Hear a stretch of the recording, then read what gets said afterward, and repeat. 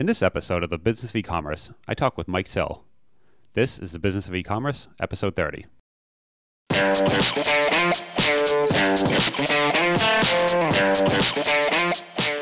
Welcome to the Business of E-commerce, the podcast that helps e-commerce retailers start, launch, and grow their e-commerce business.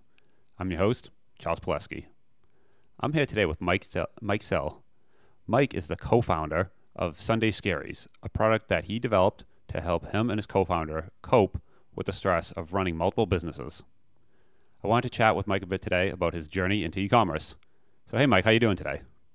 Good, Charles. How you doing? Doing good. Thanks for coming on the show. It um is always interesting to hear, you know, kind of folks' journey into e-commerce, how they got started, and everything. So, definitely uh, glad to have you on.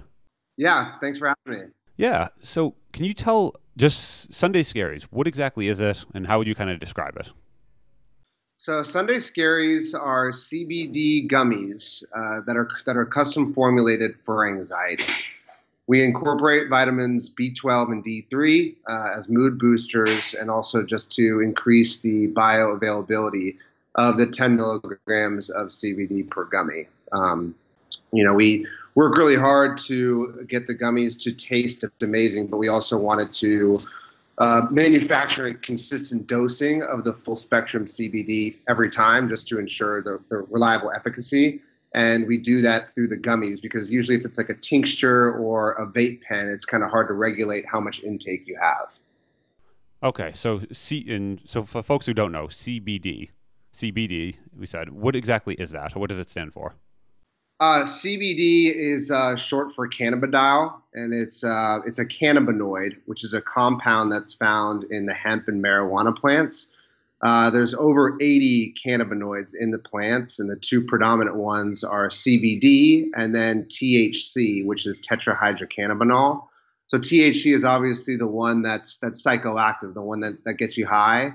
CBD is its base, basically its non-psychoactive sister. It has all the therapeutic benefits, uh, most of the therapeutic benefits that you'll find within within the plants. Okay, so is C- CBD is that something that um, you need to be in one of the states where marijuana is legal, or is this like available everywhere? It depends where you source the CBD. So with Sunday Scaries, we're able to ship to all 50 states within the U.S. And we do this because we we're, we're, allowed to do this because we source our CBD through industrial hemp. It's extracted through industrial hemp rather than being extracted through marijuana. So there's a 2014 Farm Bill uh, that basically says that if you're getting you know, CBD from the mature stalks of the industrial hemp plants, um, then it could be interpreted as being as being legal. Um, while marijuana, I think, is uh, legal in what 13 states now. Uh, it's all obviously still federally illegal, so we don't source our CBD from marijuana. We source it from hemp. Okay, so long story short, it's a gummy bear that has some derivative type chemical from not marijuana, but something marijuana ish, and it helps with anxiety. Is that somewhat correct? Yeah, if it's from hemp, and yes, it helps with anxiety. I mean, CBD is a is a miracle compound. It's it can honestly help with so many other things besides uh, anxiety. We just targeted anxiety in our in our um, whole, marketing platform, and then we incorporated that those other vitamins in order to help with anxiety as well. But CBD can help with, with I mean, people use it for skincare, for sleep aid. Uh, it's given to kids with epilepsy that have seizures, kids and adults with epilepsy that have seizures because uh, it helps stop the seizure. Uh, it's given to kids with autism to help kind of regulate their behavior. So there's a wide array of, of different benefits of CBD. We just concentrate on anxiety. Hmm. Okay, so how did you actually get into this? How did you decide to do this? Um, you said you were running another business and kind of there was some stress of doing both. So what actually kind of was the the basis for beginning all this? Yeah, so we own a neighborhood sports bar here in San Diego called Project Bar and Grill. And we were looking to open up another brick and mortar establishment, another bar. And throughout the process, it's just um, there's there's a lot of moving parts and there's a lot of small fires that you have to deal with. So it's very it's extremely stressful. You know, all the way from the startup process with raising funds and building, you know, your your your business, um, your whole business idea, and then taking that all the way through with, you know, a business purchase agreement and signing a lease. It's just a very it's just very stressful. Um, so throughout the the process, we were talking to one of our really good friends.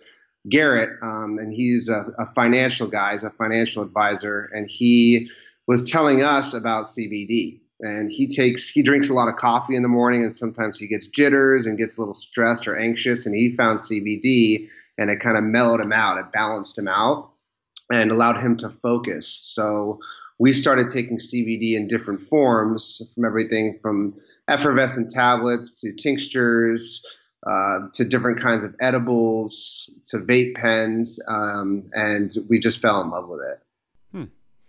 Okay, so then how long? So actually, did you ever end up uh, opening the second location, or is that still something you're working no, on? No, so, so we pivoted. So during the middle of the whole process is when we found CBD, and you know, Beau, Beau and I looked at each other and we're like, you know, we love this stuff.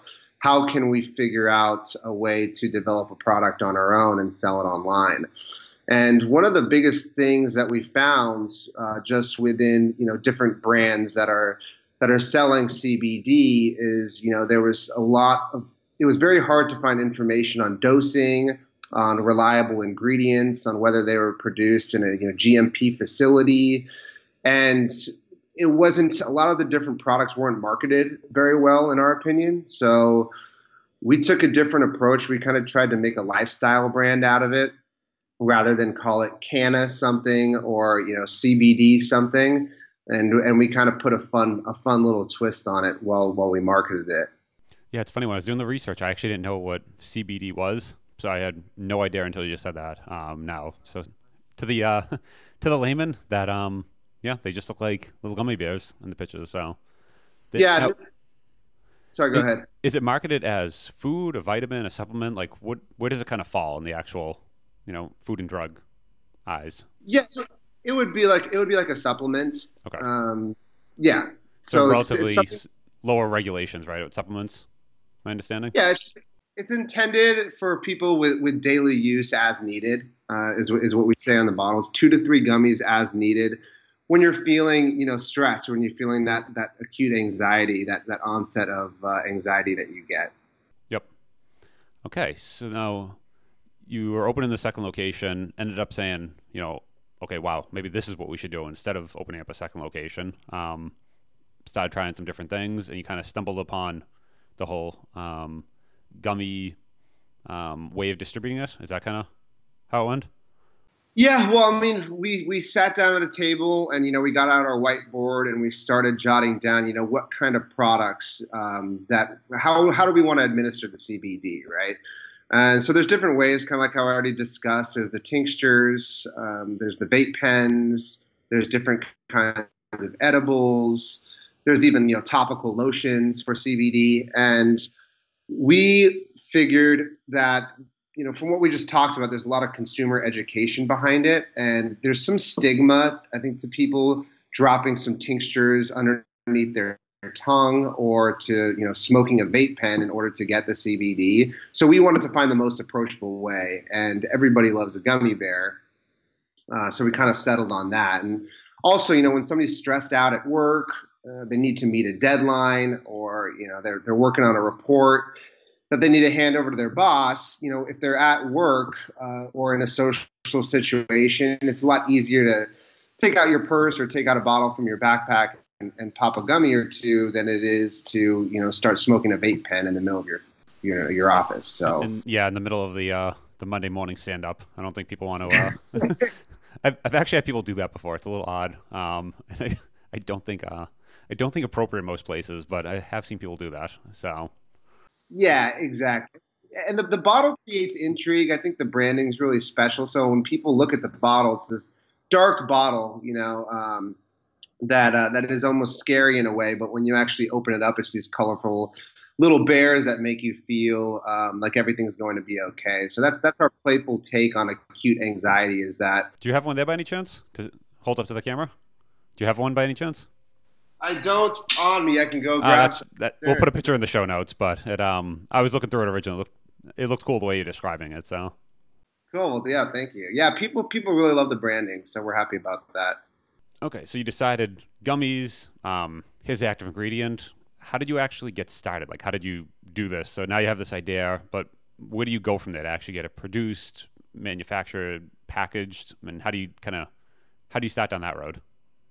That was actually it's a good question. That was one of the hardest parts actually because there's obviously a lot of manufacturers uh, for gummy bears, but in order to find ones that would deal with CBD, it was really hard. We ran into the situation where we either had, you know, these hippie producers that were making it in their garage, which obviously we don't really want to, you know, trust that that type of facility and sell a product that's made like that. And then on the opposite side of the spectrum, you have Haribo or some of the bigger gummy manufacturers that are doing gummy bears without the CBD that don't want to touch the custom formulation because of the gray area surrounding the CBD. But they're the ones with the with the facilities that you could trust. They have the facilities, they have the volume. They can actually, you know, they can get, you know, essentially any quantity you want, um, and they can scale, but you can't bring that chemical into their facilities.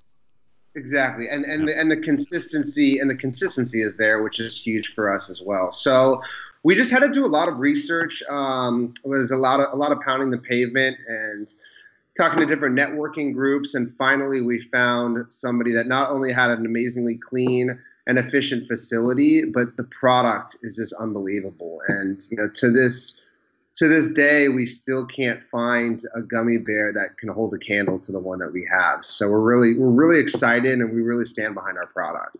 Hmm. How long did that take to actually, from the time you got the idea, let's do this, to when you actually found the facility? How long did that whole search take you? The the idea for us doing a CBD product was July of last year when it came to fruition, and then we worked on it and got the product market in October. Okay, so you go to this uh, facility. Are they in California or somewhere else in the U.S.? I'm guessing U.S. based. Yeah, they're, they're they're local, so they're in San Marcos, a little bit north of us. So once you um, found the facility, what's the process like of actually talking to them and determining what the formula should be? And do you decide that? Do they come to you? Um, or how does that process work? Yeah, so once we found, I mean, once we got the you know word of mouth that these guys were the right guys, we went to go check out their facility, and they also make um, they also make other products, and then we just worked with them on on find on sourcing the the CBD that we needed with absolutely you know no THC in it, and we actually do like a proprietary blend of uh, isolate and full spectrum oil. So we just kind of worked on some on some R and D, and then uh, ended up getting getting the gummy that we wanted. I mean, it was just it was just literally making phone calls, and it was a vetting process. We had a spreadsheet, and if somebody didn't fit to the standards, then we cross them out. If somebody was too expensive or the gummy quality wasn't there, we'd we, would move on from them, um, and and finally we fell on we fell on the custom formulator that we really like. Okay, so you start working with them, you get the custom formula. I'm guessing you go back and forth with some you know samples, some little some small runs, and you can kind of see okay, what's this going to look like? What's this actually going to taste like? Um, label design, all things like that. You kind of go back and forth with the manufacturer on, and then at some point you have to kind of. Oh, what was that? They were they were responsible for just the the custom formulation for just the actual the actual product, the actual gummy bears. The the bottling facility that we use is completely separate, um, and they they drop ship our bottles and get our labels printed on. So I actually had one of my best friends from from college. His name is Ben Zweifler. He actually owns Pup Box, which is a really cool subscription uh, based. You know, uh, they, they sell send um, monthly boxes to to people with puppies, and they cut, custom design the actual boxes for the puppies. But he is really good with design, so he helped us out with the logo. And then, you know, we just had to get the supplement facts together, made sure that we uh, had all the appropriate warnings and so forth. And then we got that designed, and the, the bottling company that we use um, next to their facility is a labeling facility. So um, they're able to just print the labels on and then ship us the bottles for us to, to co-pack. Okay, so then you get they get manufactured at one place, and then they're shipped over to a bottling facility. Um, do you guys do that, or is it someone in between that does that for you? We yeah, we do the bottling. Okay. Oh, you do the bottling. It's like you physically do it yourself. Yeah, we don't we don't cuss. I, I don't do it myself, no, but we have co-packers that do it.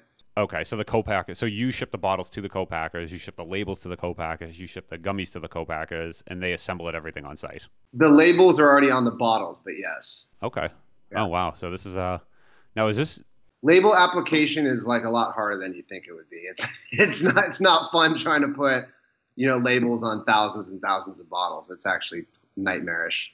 I've bought some very uh, small run pro like some very like custom products um, for different things before, and you get the labels, and it's always like this like crooked thing, and you're like, who put this on? And then I've done it before. You try to actually put it on yourself, and you're like, oh wow, it's actually not easy. But um, you know, putting a label on straight apparently is a, a difficult thing. Yeah, we have a machine do it, and honestly, we we need that to happen too, because with CBD and some of the products that we found you don't want to it's already people are already skeptical about cbd and when you get a package and the label's on crooked i mean it's just not a good look from the get-go i think it just has a, such a bad impression and you know we take all the necessary steps to make sure that we have a clean and effective product and we want that to show all the way through our branding yeah, and that's that's important, right? Because it sounds like your entire um, the brand is not to look like it was built in a garage or some, you know, like hippie in the back of a van sort of thing. It looks like a product. Look like looks like an actual food product you would see on you know a store shelf. So yeah, we're we're on store shelves too. Um, majority of our sales come from online, but we're, we're in um, some supplement stores. We're in Nutrimart, and uh, we're actually been featured in a couple dispensaries as well. Uh, as well as some stores in, in, in Los Angeles. So high majority of our sales are online, but uh, but yeah, we're on store shelves as well. So Okay, so then you guys. So I'm still trying to make sure I get this process. They, someone actually comes up with the you know the gummies themselves. Those get shipped to a co-packer. Bottles, the labeling company ships the labels to the the bottling company. They put that together, ship you the bottles. Co-packer assembles it, and then you're essentially drop shipping it out of the co-packer from there. Correct? Um, no, we handle the shipping too. So yeah, so we just pay. Um, the packer, and then uh, we have somebody on site that that prints the labels. The labels are just generated from our website. When pe- when somebody places an order, we uh, we use a shipping system, and it just we print out the orders on, on label paper, and then we get we just bulk order uh, envelopes of different sizes, and then we just have to manually punch in. Um, uh, you know, if, if there's any sort of changes on, on a bottle, uh, just the amount, it's basically weight when you're shipping. So it's the price is determined upon weight. And then we just print those labels out and, and drop the, the actual bottle in and ship them off. Hmm. Now, did you or your co-founder have any experience with anything like this before you started, or was this like the very first time you just figured out as you went? Well, we've had experience with, with, you know, operational stuff and running a business and, you know, we had some contacts with regards to to PR and to some like website developers and so forth. So it wasn't like completely out of thin air, but I mean, doing and starting an online business is way different from brick and mortar. But to be honest with you, the the types of of obstacles and fires that we deal with at the bar versus with you know Sunday Scaries, the gummies. I mean, it's it's a it's a lot harder operating a bar. it's there's a lot more variables. You have employees. You have a lot more overhead. So we we prepared ourselves. We took ourselves through um, you know business school by opening by opening up the bar. Yeah. So it sounds like that that gave you like the the business background to basically be able to go through and figure out this logistics of how to actually get this produced and shipped and bottled and labeled. And um, you know, actually figure out, basically gave you kind of the background to be able to figure out how to do all these steps.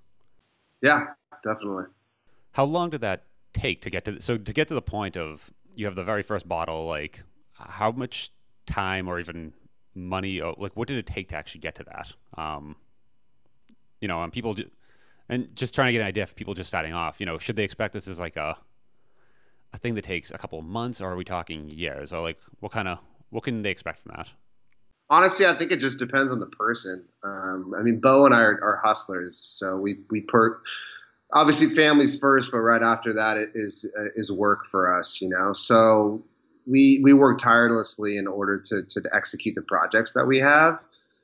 So it just depends on how much work you put in, uh, and depends on what you're trying to do too. I think if you know we were trying to to build our own vape pen and we had to get it, you know, designed and crafted, uh, then it probably would have taken longer. Um, you know, so it just kind of depends on on what road you take as well, um, and and just how well you can execute everything. So luckily, I have Beau, who's an amazing partner, and the stuff that that I'm not very good at, he takes on, and, and vice versa. And we know when to delegate too. I mean, I'm not I'm not a designer, so I'm not going to get on Illustrator and try to make my own label, which would take me a month, and it'd probably come out looking like crap. I'm going to make sure to raise enough money um, and budget out so I can hire on the appropriate talent to take that over. So I, I think that's one of the biggest things is you don't want to get founderitis uh, where you're doing everything yourself because you know you kind of want to make sure make sure to micromanage, make sure everything's done perfectly. Sometimes it's better to know what you're not good at and delegate that out so uh, so it can be executed on a timely manner and then just come out looking awesome. So. Yeah, and probably I bet the experience of having a bar kind of it teaches you early that you you have to hire folks is really you know in that sort of business it's not like you and your co-founder could just kind of run it yourselves. You need staff there, so you probably get in the mode of hiring, figuring out what you should be doing, what you shouldn't be doing, and that probably helps give you that background of um, you know being able to delegate. Yep, exactly. Yeah, I mean that's we can't do everything by ourselves, and here at the bar, you know, we hire on our bartenders and managers are just their workhorses and they're really good at what they do. I mean, if I try to get behind the bar, I can make some vodka sodas or some Jack and Cokes. But if you ask for a really good cocktail, I'll uh, I'll defer to one of our guys who, who make outstanding drinks, you know. And I'd rather have them behind the bar than have me behind the bar. So, yeah, we definitely applied that same logic to to the gummy business. And like I said, you know, one one of the biggest things for us too is copy, just writing different blogs or just writing, you know, diff- different stuff. Like let's say on our website, um, you know, I'm, i consider myself a pretty good writer, but it's not my uh, my number one forte, and I'd rather not spend my time, you know, two to three hours writing copy for a page on our website when I can hire somebody to do it faster and better than I can. So uh, we like to concentrate on the product, concentrate on the customer, concentrate on the idea, and then we're the glue that puts everything together. So. Yep. And now, so to get kind of the first version out for you guys, was it, you know, a lot kind of investment wise on you know, building a first product and getting that kind of first run out? You had to buy like a pallet of them, or are we talking, you know, you could buy a, a small a small box to begin with? Or what did that look like? Well, I think it all depends on um, just kind of. It depends on a couple different things, and I guess in order to ha- to see how much quantity you're going to get. I mean, we're starting off a new product that's going to launch soon called FOMO Bones, which is going to be a CBD dog treat for or CBD um, treat for dogs for anxiety, FOMO, FOMO, fear of missing out, and we're getting a lot of positive feedback on that.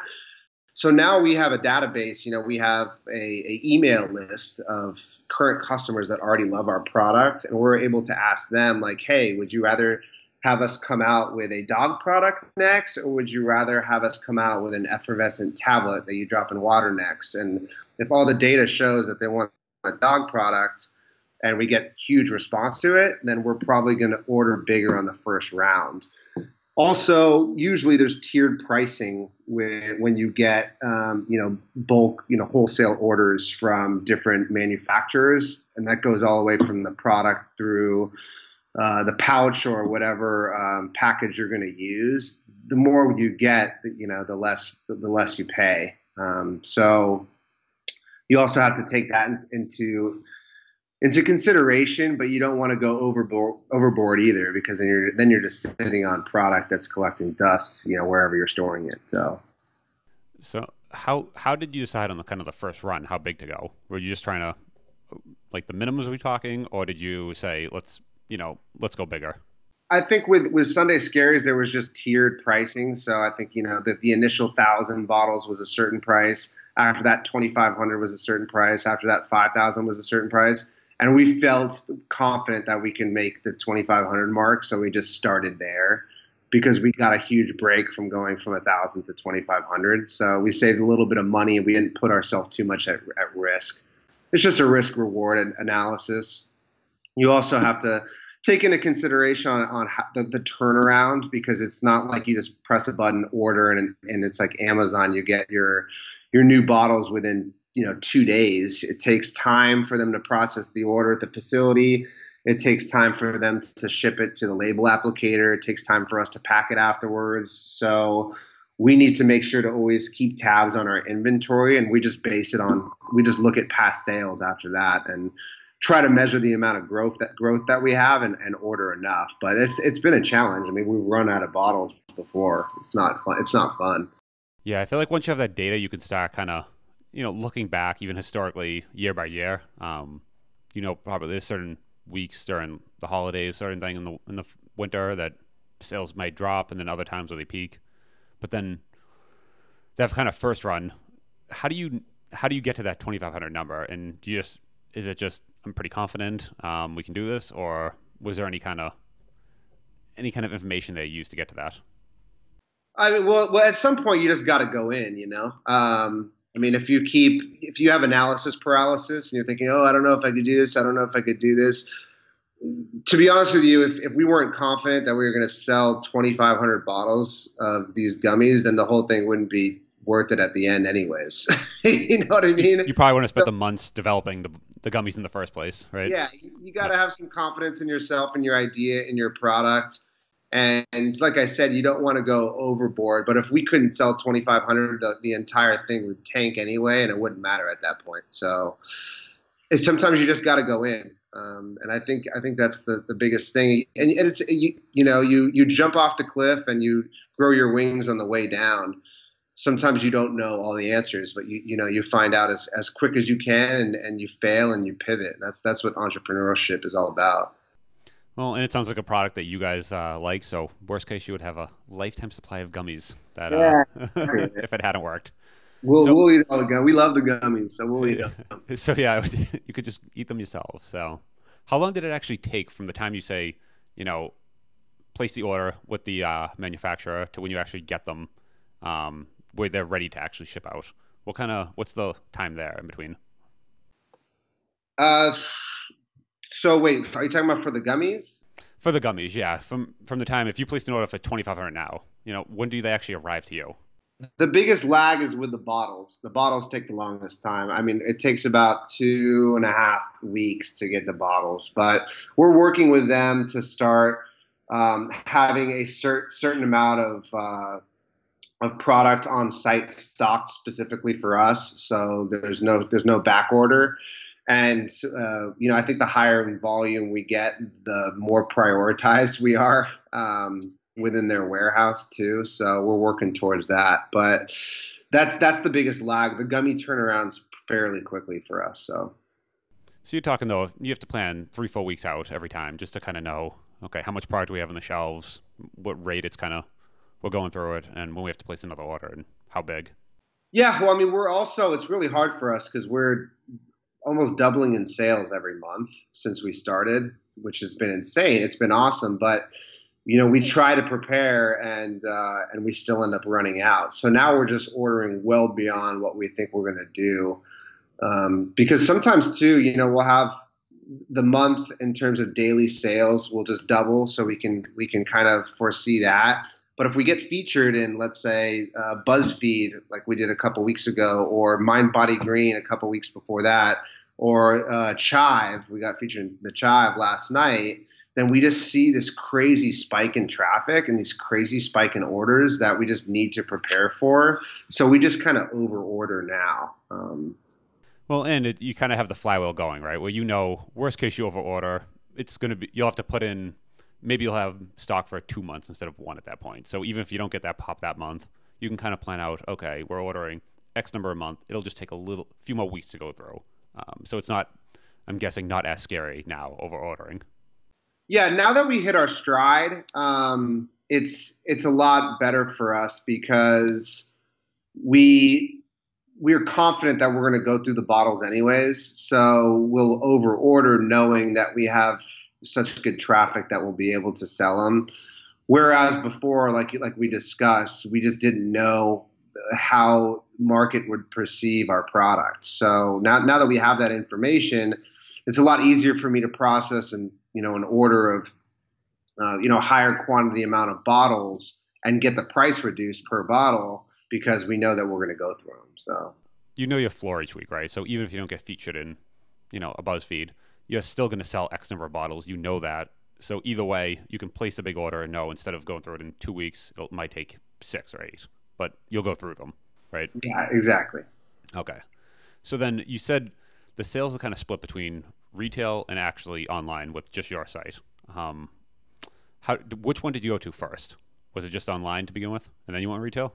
Uh, we did both first because we wanted to see what worked better but we just like we like online better because there's there's better margins and you know, you don't have to get uh, POP um, or any sort of displays for the stores. You don't have to hand deliver stuff to the stores. Uh, a lot of the a lot of the different you know retailers they want net 30 terms so you basically drop off your product and then hope to get paid in 30 days where, whereas the model online is you basically put your card information in and you pay and then you get it directly shipped to you. So I think that because there's a couple different reasons why we like online, but it's the easiest way. You know, we just print labels and ship them, and there's not a lot of face-to-face interaction. If any customers have any sort of like complaint or feedback, or they want to write a testimonial because they love our product so much, then we obviously take care of that uh, the fastest way that we can, uh, and we make sure to give that that customer response or the customer care and that that prompt response that they deserve being being a customer of ours. But it's not the same as dealing with a retailer that's trying to figure out why they're not moving as fast on the shelves or whatever. So there's that, and then the margins are obviously better because we're we're cutting out uh, we're cutting out a middleman by selling them online. Yeah, it's almost like a different game. It's almost like a different thing altogether, right? Like retail is its own has its own set of challenges, its own benefits, though, right? But at the same time, you know, online, like you said, there's definitely perks to going that way as well. Um, so, but most of your sales are online then, right? To this day? Yeah. Well, San Diego is our second highest selling city, um, right behind New York. And so a lot of locals will see our product and will reach out to us via Instagram. They'll shoot us a DM or something, and they're like, "Hey, I'm going to Coachella this weekend and I want to order a bottle, but I know it's going to take, you know, two, three days to get to me. So, you know, is there any other way I can get it? So we always direct them towards, you know, Nutrimart, one of the brick and mortar stores where they can go just buy it right away. So that's helpful for us too, because we can, people have access to getting the bottles a lot quicker if they're super stressed out, or if they need them for a trip or something like that. Yep. So when you decide to, so let's say let's focus on the line piece, right? When you decide to, because um, most folks listening probably do mostly online. Um, how did you actually? So you launched it, came out with the site, um, had kind of developed while you're developing the product. I'm guessing. So you kind of from by the time you got the product, was the site kind of ready to go and start selling? Uh, yes. So what was the question? Sorry, I, I didn't really understand that one. Were you kind of building the site itself and the marketing material and everything like that while you were building the product, doing these kind of things both kind of, or like you never want to go live unless until your your website is is up and running and completely ready to go. I mean, your your website is your storefront. So imagine you know you walking into a store to go buy a supplement and the lights are off, the aisles are all in disarray, and the cash register is not plugged in. That's the same thing with a website. If you go and you know the, the, the user interface is off, um, or the design is off, or your plugin or you know, whatever processor you're using isn't set up yet, then people can't buy your product. They won't know how to buy your product. They'll be confused about how to buy your product, and you'll you'll have a lot of your bounce rate will be really high for people going to your website. So that's the number one thing, and what we were talking about earlier too is I think a lot of people try to take on the whole website thing themselves. That's one of the biggest things that we're huge advocates on delegating because it's the most important thing. And we've seen that through, uh, you know, we use um, a company called Disruptive, um, and they do split testing for us. So they'll basically, you know, get three different options um, from anything to what our call to action is, to the color of our buy now button, to where uh, you know different pictures are placed on the screen, and you basically try to optimize your sales by looking at data and conversion rates on on which split test works the best. We actually had uh, Chris from Disruptive on the show uh, quite a few episodes back, but um, yeah, he talked. He talked. That that wasn't planned actually. That just. Uh, but yeah, we. Uh, I've talked to Chris before, um, and he actually talked about split testing, kind of the some things to do there. So it's inter- It's funny you guys use them. Um, they're they're incredible. Um, they've honestly increased sales so much, and they're very receptive and their feedback is awesome and their communication is awesome. We've been extremely impressed with them so far. Hmm. Okay, good to hear. Uh, that uh, that was that was not planned actually. So, so you did they also do all the website development themselves, or do they just do kind of the the, the testing side of it? Uh, no, they just do the testing site right now. I mean, they have their own developers, so if we need something fixed, then they can obviously do that. But um, our, they didn't they didn't originally build our website. No, we actually met them. We went to Social Media Marketing World, which is a um, like a con- big conference at the San Diego Convention Center, and they had a booth set up, and we sat down with them, and they kind of ripped through our site and kind of had some um, original suggestions um, and, a, and a hypothesis of how we could probably sell more by tweaking some things. And we just followed up with them and signed on. And uh, like I said, we don't regret it. So. Hmm. So then, when you actually launch a site, how did you start getting before even the A/B testing? How do you actually start getting traffic, kind of promoting it? Um, when I was looking online originally, I saw a lot of Instagram stuff on you guys. Is that kind of one of the big channels, or like how you act, how you actually getting folks to find out about you? Yeah, that's how we started. Is just creating funny content on uh, on Instagram as well as just pictures of uh, you know you know product images. So people kind of created intrigue, like what is what is this account? And then obviously we directed it straight to our website.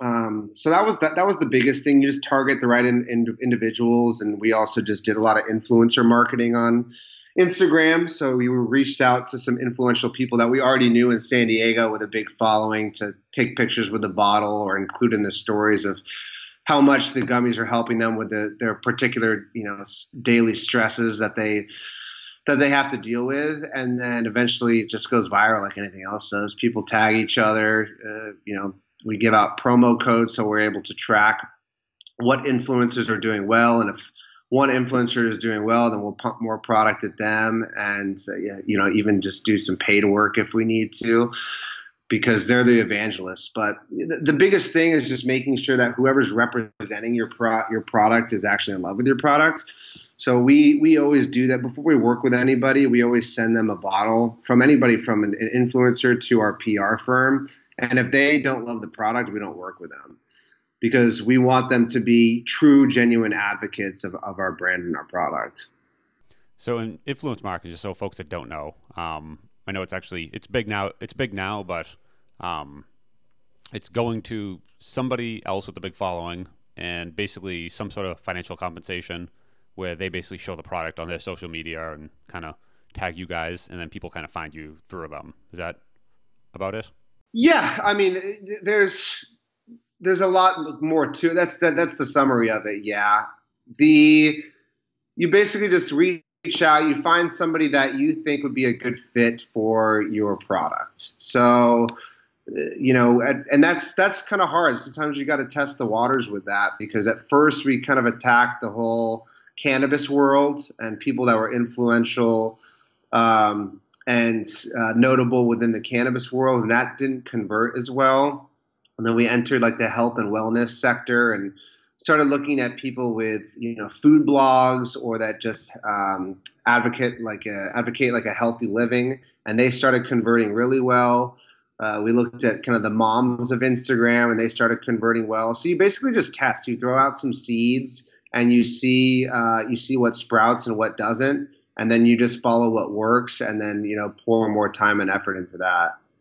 And then once you find something that works, just keep kind of going branching out from there. Um, it sounds like so. Is that still one of your main marketing channels, kind of the whole um, social influencer? Yeah, we still do that. We're, we're doing Facebook ads now. And like I said, we have our uh, PR company that's getting us just put into some publications. So there's articles written about us. So we're doing a lot of different things now, but I think the influencer game is what is what jump started us. Hmm. Okay, that's uh, that's helpful. I feel like that's one of those things that you start hearing about now. But how long ago was that actually when you started when you started doing that? Uh, that was right off the that was right in the beginning. That was um, you know back in October, November. The thing with us too is that we know we know a lot of people in the bar and uh, restaurant world here in San Diego, a lot of people in the hospitality industry. So when this came about, we actually held a meeting at the bar with you know club promoters, bartenders that have a huge following, uh, managers that have been in the game for a while, and we gave them product in order to represent us um, on social media, and then obviously just just you know hand to hand too. So that was really helpful because our product, you know, kind of is at least originally was surrounded around people that, that like to work hard and play harder. And on the weekends, we'll go out drinking, you know, spend too much money, like to party, and then on Sunday would wake up with a moral hangover and you know kind of regret some of the, the decisions that they may have made on Friday and Saturday, and then have to prepare for uh, you know real life to start over again on on Monday. So it, it kind of it worked out that we had those connections already because we we put our product in front of the right audience from the get go. Yeah, sounds like having that kind of circle to begin with kind of allows you to jumpstart that. And okay, you know these folks, and let's kind of expand from the people we know, basically. And even better if you can uh, pay them in product from the beginning, and it's something they like, they're using anyway. So, you know, it works for everyone. That's yeah. great. That definitely, um, yeah, I think this is super helpful. Um, any last kind of things you would say, someone just kind of starting off, someone who's listened and has an idea and wants to do this, doesn't know where to start? What would you kind of recommend people do or read or listen to, or what should folks do if they have an idea? Are you talking about just for any sort of just idea to, to start a business in general? Or? I'd say, I'd say somebody has a product idea they want to sell online, but not sure how to. This whole this whole path of how to get it produced, manufactured, shipped, even the site, all all this stuff, there's a lot of steps that we just kind of went through that, um, you know, looking in the rearview mirror seem kind of obvious, but you know, before you do them, are I'm imagining even you know they're not obvious, and it's kind of this like this windy road. So like, where would you recommend somebody that wants to sell a product online? They have a product idea, but no clue from there. Where where should they start? Um, the biggest thing is just being passionate about your own product. I mean, I, I eat the gummies every day because I love them and I know that they actually work. And if they didn't, I wouldn't want to stand behind it. You know, for, for the longest time, we were trying to do like just like a hangover cure. And every one that I've ever tried has been snake oil. You know, I take whatever powder or whatever drink it is, and it doesn't work. So I don't want to. I stand behind this product, and I don't want to go to my friends and family members and be like, you know, hey, take these gummy bears and have them spend money on it and have them not work. You know, that's not something that I want I don't want to deal with people returning it all the time. I don't want to deal with people saying that they were dis- dissatisfied with their purchase. So I think the biggest thing is just concentrating on the product because if you have a good product in any industry, then you're going to do well. I mean, same thing goes with here. I parallel to here at the bar. You know, you can have a drink that takes too long to come out. You can have t- some toilet paper that's on the bathroom. You can have a couple lights that went out or a TV that's broken. But if the food is like the best food that somebody's ever had, they're not going to care about all that other stuff because the product is what's is what sells. The product is what people want want to see. So obviously everything I just listed you want to work on. Same thing with the gummy business. You want to make sure that you have a really good website. You want to make sure that you're marketing it to the right people you, you, you want to make sure that the branding is on point. But the, the biggest thing is just making sure that you have a product that works and that you stand behind. Awesome. That's very good advice. Focus on product. So that, um, Pro- product and customers. Yeah. I mean, a lot of people too will always look at the competition and see what they're doing and try to modify their own business model based on what the competition is doing but don't look at your competition. Talk to talk directly to the customers that are currently buying you and get their feedback. Send them a survey, for a chance to win a free bottle and see what they actually have to say about your product.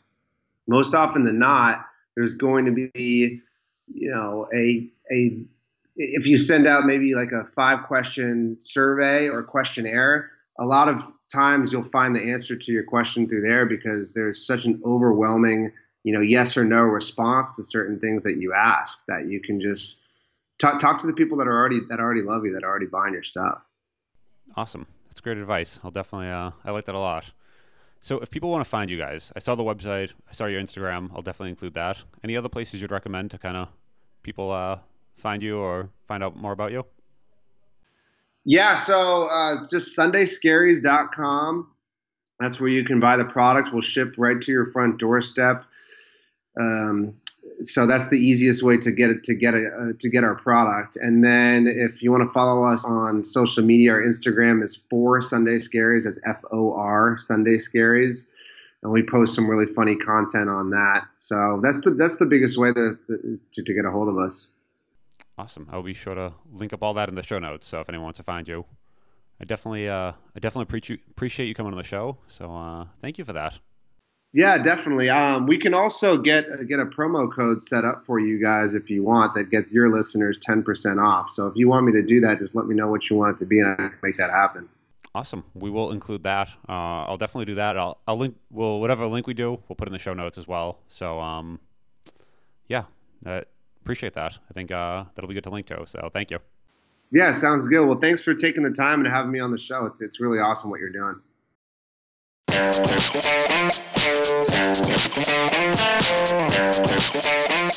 you.